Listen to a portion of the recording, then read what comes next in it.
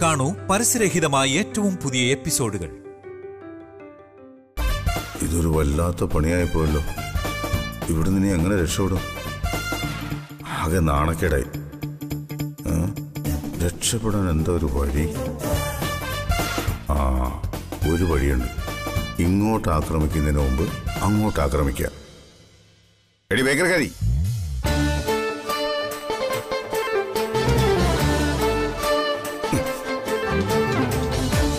സത്യം പറഞ്ഞി ആരെ എന്നെ ഇവിടെ കൊണ്ട് കിടത്തിയത്? ആഹാ അത് ശരി. അപ്പൊ കുറ്റം മുഴുവൻ എനിക്കായല്ലേ? ആ. ഓ കള്ളിന്റെ നാട്ടിൽ ഇതുവരെ മാറിയിട്ടില്ല. ആ, കള്ളും കുടിച്ച് ലെക്ക് കെട്ടി ഇവിടെ വന്ന് എന്നെ ലോകത്തുള്ള ചീത്ത മൊത്തം വിളിച്ച് ബോധം കിട്ടുന്ന എന്റെ കുഴപ്പമാ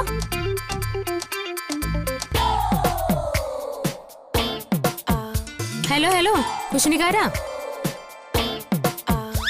എന്റെ മുറിയിൽ നിങ്ങളെ കിടത്തിയതേ എന്റെ ദയ. എന്തൊക്കെയായിരുന്നു? ഇന്നലെ രാത്രി ബോധമില്ലാതെ കാണിച്ചു കൂട്ടിയത്. ദേ അനാവശ്യം പറയരുത്. നിന്നോട് ആര് പറഞ്ഞു? എന്നെ നിന്റെ മുറി കൊണ്ട് കിടത്താൻ. ബോധം വരുമ്പോ ഞാൻ തന്നെത്താൻ എഴുന്നേറ്റ് പോവായിരുന്നല്ലോ. പോവായിരുന്നു. അതല്ലെങ്കിൽ നിനക്ക് എന്നെ ഹോളിൽ കൊണ്ട് കിടത്തായിരുന്നില്ലേ? എന്തിനാ ഇതിനകത്തോണ്ട് കിടത്തിയത്? നീ ഇത് മനഃപൂർവം ചെയ്തല്ലേ സത്യം പറടി എന്നെ അധിക്ഷേപിക്കാൻ വേണ്ടി നീ ഉണ്ടാക്കിയ സീനല്ലേ ഇത്? ഞാൻ അത്രയ്ക്ക് ചീപ്പൊന്നുമല്ല.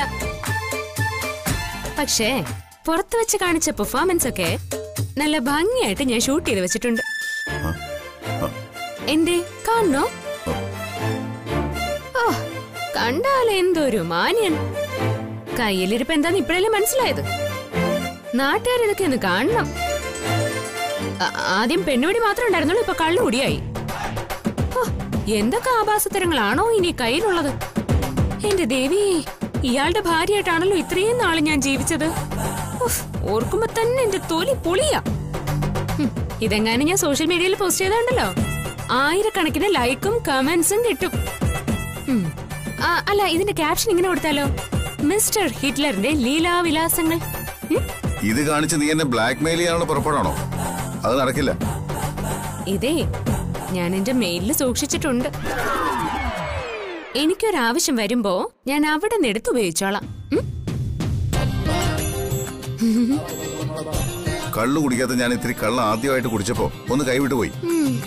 ഇവിടെ വന്ന് നിന്നെ ചീത്ത വിളിക്കണമെന്ന് വിചാരിച്ചിട്ട് തന്നെ അടി കുടിച്ചത്. അത് നിന്നോടുള്ള സ്നേഹം കൊണ്ടാണെന്ന് നീ തെറ്റിദ്ധരിക്കണ്ട. നീ എന്റെ ശത്രു തന്നെയാ. ഒന്നാം നമ്പർ ശത്രു. പിന്നെ ഞാൻ കള്ളു കുടിച്ച് ബോധം കിട്ടെങ്കിൽ അത് എന്റെ കാര്യം. എന്നെ കുളിപ്പിക്കാൻ ഈ മുറി കൊണ്ട് കിടത്താനും നിന്നോടാരെങ്കിലും പറഞ്ഞോ? Hello hello hello hello. എനിക്ക് വേറെ ഒന്നും പറയാനില്ല. ഒറ്റ കാര്യം മാത്രമേ പറയാനുള്ളൂ. മേലിൽ ഇന്നലെ രാത്രി കാണിച്ച പോലെ ഒന്നും ഇനി കാണിക്കാൻ നിൽക്കണ്ട. നാട്ടുകാരുടെ മുമ്പിൽ എനിക്ക് ഇത്രയും വിലയും നിലയൊക്കെ ഉണ്ട്. അത് ഇയാളായിട്ട് ഇല്ലാതാക്കരുത്. ഓ ഈ ബേക്കറിക്കാരുടെ വില എന്താന്ന് എല്ലാവർക്കും അറിയാം. ഈ ഡി കെ ആരാണെന്ന് നിനക്കറിയില്ല. നിനക്ക് ഞാൻ കാണിച്ചു തരാടി. ഓ ആ, ആ.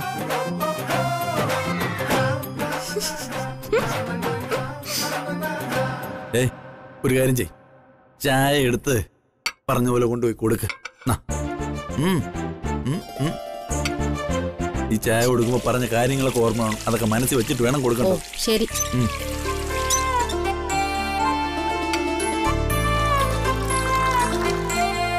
ഞാൻ കൊണ്ടുപോയി കൊടുത്തിട്ട് വരാം. ചെല്ലു.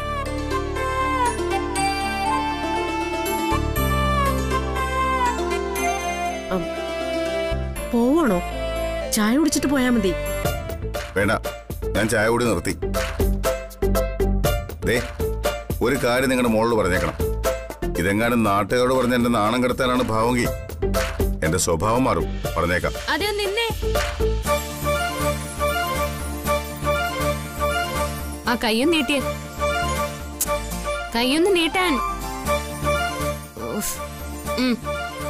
ഇതെല്ലാം നിങ്ങളുടെയാ ഇന്നലെ മുറ്റത്തിരുത്തി കുളിപ്പിച്ചപ്പോഴേ നനയാതിരിക്കാൻ അച്ഛൻ എടുത്തു വച്ചതാ ഇതൊക്കെ. എല്ലാം കൃത്യമായിട്ടുണ്ടോന്ന് പരിശോധിച്ച് ഉറപ്പ് വരുത്തിയിട്ട് വേണം ഇവിടുന്ന് പുറത്തേക്ക് പോവാൻ. പിന്നെ ആ വീഡിയോ അതെന്റെ കയ്യിൽ തന്നെ കാണും. സുരക്ഷിതമായിട്ട്. നിങ്ങൾ മിസ്റ്റർ ഹിറ്റ്ലർ ആണെങ്കിൽ ഞാൻ മിസ്സസ് ഹിറ്റ്ലറാണ് മിസ്റ്റർ ഹിറ്റ്ലറിന്റെ ഭാര്യ. ആ വീഡിയോ നീ ദിവസവും രാവിലെയും ഉച്ചയ്ക്കും വൈകിട്ടും പുഴുങ്ങി തിന്ന് വിശപ്പെടക്കും. എനിക്കത് പുല്ല.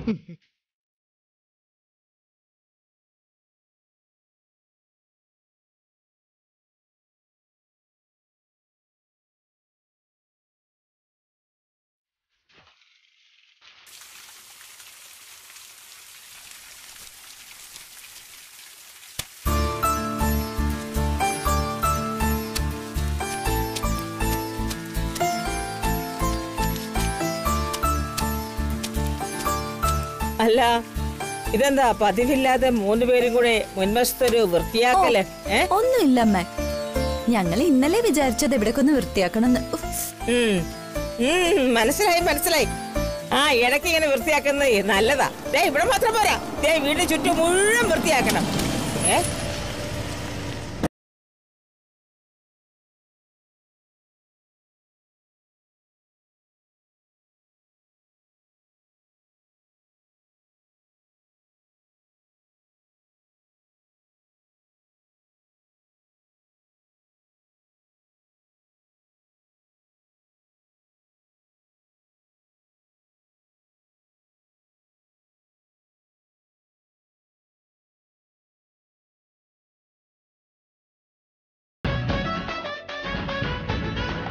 ഇന്നലെ നീ എവിടെയായിരുന്നു? അത് പിന്നെ അമ്മ എനിക്കൊരു സ്ഥലം വരെ അത്യാവശ്യമായിട്ട് പോകേണ്ടി വന്നു. ഏത് സ്ഥലം? ആ സ്ഥലത്തിന് എന്താ പേരില്ലേ? ആ, ആ സ്ഥലത്തിന്റെ പേര് പറയാൻ പറ്റണ്ടേ അമ്മേ? അത് ചിലപ്പോ നാണക്കേടാവില്ലേ? ഡി കെ എവിടെ ആയിരുന്നു എന്നൊക്കെ ഞങ്ങൾ അറിഞ്ഞു. അതിനെന്താ? ഭാര്യ വീടല്ലേ? പക്ഷേ നാണക്കേടായി പോയി ഡി കെ.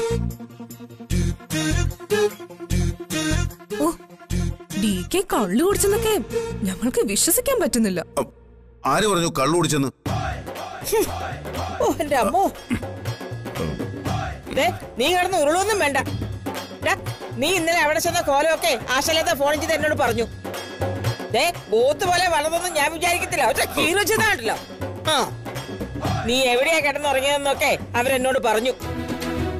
എന്നാ പിന്നെ രാവിലെ നീ ഇങ്ങ് പോന്നപ്പം അവളെ വിളിച്ചോണ്ട് ഇങ്ങോട്ട് പോരാൻ മേലായിരുന്നോ? അതിപ്പോ ഒരബദ്ധം ഏത് പോലീസുകാരനും പറ്റും. എന്ന് വെച്ച് അവളെയും വിളിച്ചോണ്ട് വരാൻ ഞാൻ ഇനി രണ്ടാമത് ജനിക്കണം. എല്ലാവരും കൂടി എന്നെ വിചാരണ ചെയ്യാൻ പോകണോ എനിക്കിപ്പോ അതിന് നിന്ന് തരാൻ സൗകര്യമില്ല. അമ്മ ഒന്ന് മാറിക്കേ. എടാ.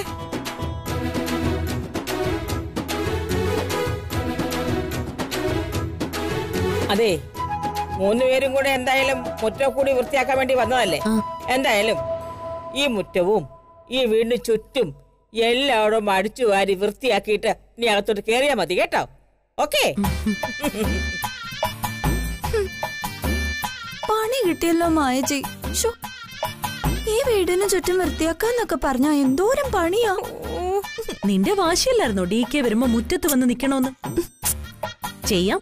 ഇനിയിപ്പൊ എന്ത് ചെയ്യാൻ പറ്റും? വാ.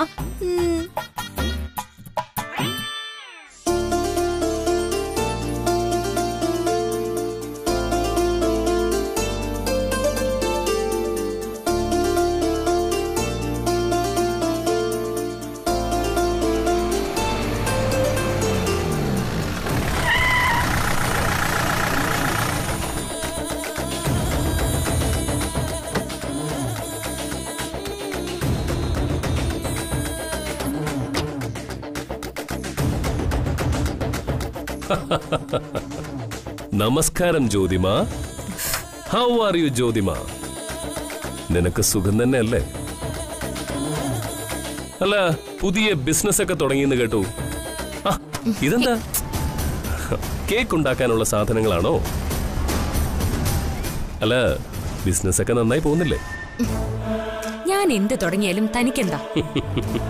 അത് അന്വേഷിക്കാനാണോ? ഇങ്ങനെ കോട്ടൊക്കെ ഇട്ട് സിനിമ സ്റ്റൈലിൽ വഴിയും തടഞ്ഞ് ഭയപ്പെടുത്താൻ വന്നത്?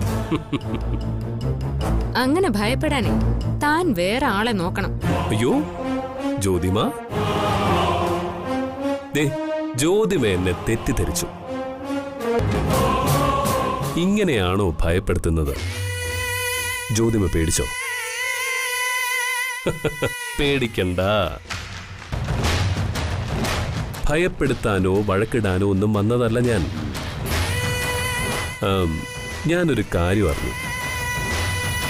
അതൊന്ന് നേരിട്ട് ചോദിച്ച് സത്യമാണോ എന്നറിയാൻ വന്നതാ. തനിക്ക് എന്തേ പറയണ്ടേ? ഇതാണ് ജ്യോതിമ. ചോദ്യവും ഉത്തരവും ഒക്കെ ഡയറക്റ്റാ. എനിക്ക് ചോദിക്കാനുള്ളത് ഇന്നലെ രാത്രിയിലത്തെ കാര്യം.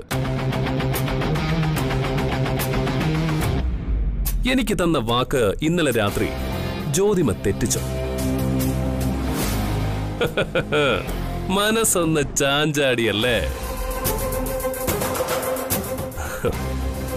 അതുകൊണ്ടല്ലേ എന്റെ താക്കീത് മറന്ന് ജ്യോതിമ ഡി കെയെ സ്വന്തം മുറിയിൽ ഉറങ്ങാൻ അനുവദിച്ചത്.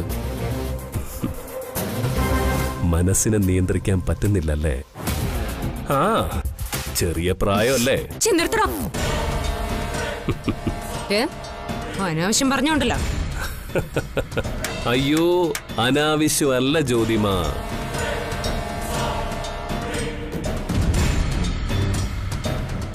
എന്റെ വാക്ക് ധിക്കരിക്കാൻ ശ്രമിച്ചാൽ പിന്നെ ഞാൻ എന്താ ചെയ്യുന്നെന്ന് എനിക്ക് തന്നെ പറയാൻ പറ്റില്ല. താൻ എന്ത് ചെയ്യുന്ന?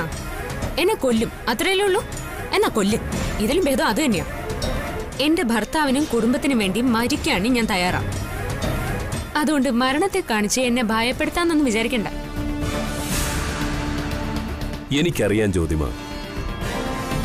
ഭർത്താവിനോടുള്ള സ്നേഹവും ആ കുടുംബത്തിന് വേണ്ടി എന്ത് ത്യാഗവും സഹിക്കാനുള്ള മനക്കരുത്തും. സ്വന്തം അച്ഛനും കുടുംബത്തിനും വേണ്ടി സമർപ്പിച്ച ജ്യോതിമയുടെ ജീവിതം. അനിയത്തിയുടെ വിവാഹം നടത്താൻ കാണിച്ച സാഹസങ്ങൾ എല്ലാം എനിക്കറിയാം. സത്യത്തിൽ ഏതൊരാണും കൊതിക്കും. ജ്യോതിമയെ പോലൊരു ഭാര്യയെ കിട്ടാൻ. I respect you. D K divorce ചെയ്തിട്ട് രണ്ടാമതൊരു വിവാഹം കഴിക്കാൻ ജ്യോതിമ തീരുമാനിച്ചാൽ ദേ എന്ത് സഹായത്തിനും ഈ വിഘ്നേഷ് കൂടെ ഉണ്ടാവും. ഒരു ദിവസം കൊണ്ട് നിന്റെ ഈ അഹങ്കാരം തീർക്കാൻ എനിക്ക് അറിയാൻ മേലാഞ്ഞിട്ടല്ല. സത്യങ്ങളെല്ലാം എന്റെ ഭർത്താവിനോട് തുറന്നു പറയാൻ ഞാൻ തീരുമാനിച്ച മാത്രം മതി. ഓ. പക്ഷേ ഞാൻ അത് ചെയ്യാതെ നീ പറയുന്നതൊക്കെ അനുസരിക്കാൻ തീരുമാനിച്ചതേ. നിന്നെ കൊന്നിട്ട് എന്റെ ഭർത്താവ് ജയിലിൽ പോകുന്നത് കാണാൻ എനിക്ക് ഇഷ്ടമല്ലാത്തോണ്ടാ. കുറച്ചു നാൾ ഞങ്ങൾ വേർപിരിഞ്ഞ് താമസിച്ച. തന്റെ മനസ്സിലുള്ള പകയും വിദ്വേഷവും ഒക്കെ അടങ്ങുമെങ്കിൽ അതങ്ങ് അടങ്ങിക്കോട്ടെ എന്ന് കരുതിയിട്ടാ. സമാധാനത്തോടെ എല്ലാം അവസാനിപ്പിക്കുമെങ്കിൽ അങ്ങനെ ആകട്ടെ എന്ന് വിചാരിച്ചിട്ടാ. ഇപ്പോഴാണ് ജ്യോതിമ എനിക്ക് നിന്നെ കൂടുതൽ ഇഷ്ടപ്പെട്ടത്. നീയാണ് പെണ്ണ്. പക്ഷേ ഇന്നലത്തേതുപോലൊരു രാത്രി ഇനി ആവർത്തിക്കരുത്. ഡി കെ ഇനി നിന്റെ അരികിലേക്കോ? നീ ഡി കെയുടെ അരികിലേക്കോ വന്നാൽ ഇന്നലത്തെ പോലെ മനസ്സൊന്ന് ചാഞ്ചാടിയാൽ പിന്നെ എന്നെ കുറ്റം പറഞ്ഞിട്ട് കാര്യമില്ല. നിന്റെ അച്ഛനും നിന്റെ ഭർത്താവൻ ജീവനോടെ ഉണ്ടാവില്ല. എന്നാ പിന്നെ താൻ അതങ്ങ് ചെയ്ത് കാണിക്ക. ഇന്നലെ രാത്രി വന്നത് എന്റെ ഭർത്താവാ. ആ അവസ്ഥയിൽ അദ്ദേഹത്തെ സ്വീകരിക്കേണ്ടതും ഒപ്പം കൂട്ടിരിക്കേണ്ടതും ഭാര്യ എന്ന നിലയിലെ എന്റെ കടമയാ. ഇനി വരുന്നത് അമരാവതിയിലെ അമ്മയുടെ പിറന്നാളാ. അതിനും ഞാൻ പോകും. തടയാനോ കൊല്ലാനോ പറ്റുമെങ്കിൽ താൻ അത് ചെയ്ത് കാണിക്കണം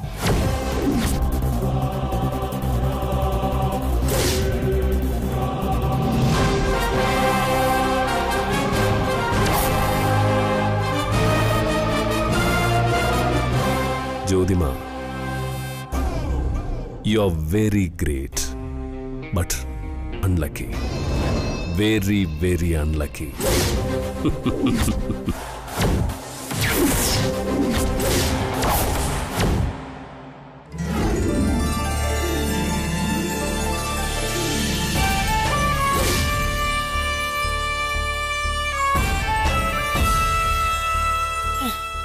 my little കണ്ണ ലൈഫിൽ ലക്കിയായ മദറാ ഞാൻ. എന്റെ ബർത്ത്ഡേ ഹാപ്പിയാക്കാൻ മക്കളും മരുമക്കളും പ്ലാൻ ചെയ്ത ഒരു മാമാങ്കവാ ഈ കാണുന്നതെല്ലാം.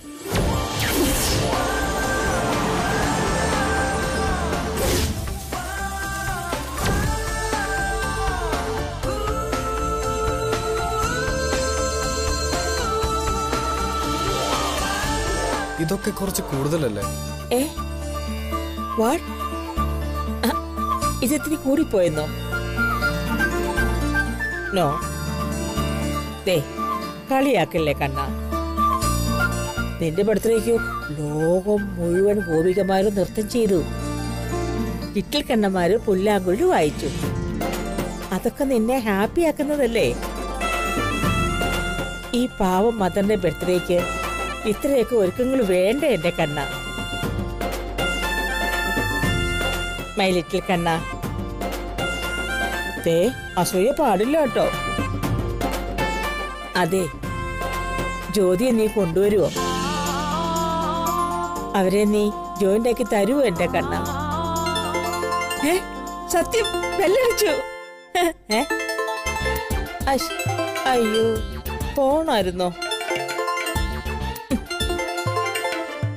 സുധാരൻ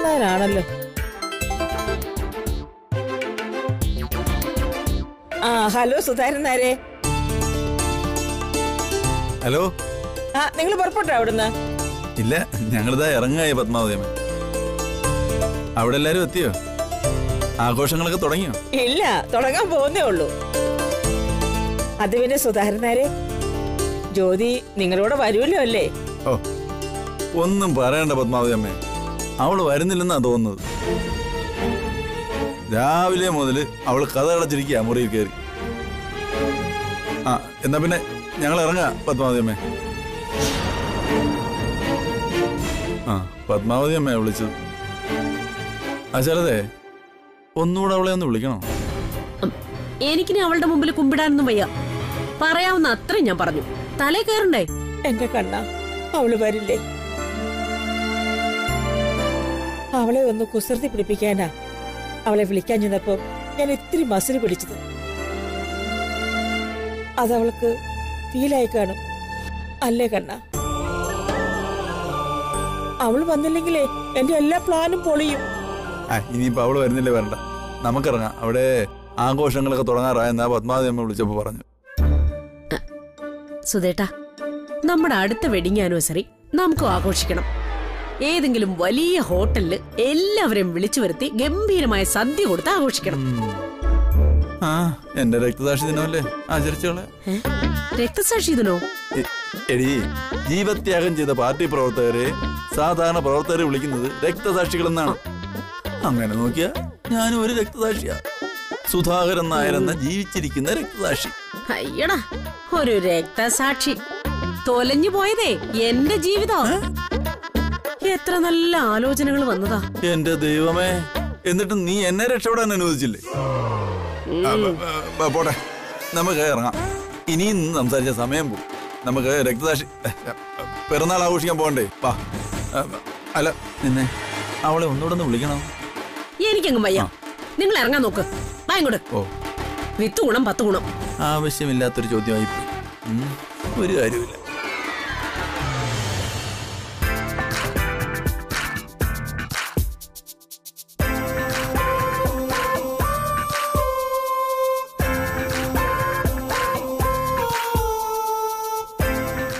ആ. രണ്ടാളും നേരത്തെ എത്തിയോ? അമ്മയുടെ ബർത്ത്ഡേക്ക് സമയത്തിന് എത്തിയില്ലെങ്കിൽ അത് മതി അമ്മയ്ക്ക് പിണങ്ങാൻ. ആ. തന്നെ ഡ്രസ് കലക്കി കേട്ടോ. കൊള്ളാവോ? അതല്ലേ കലക്കി എന്ന് പറഞ്ഞത്. ജ്യോതി ബർത്ത്ഡേക്ക് വരില്ലേ?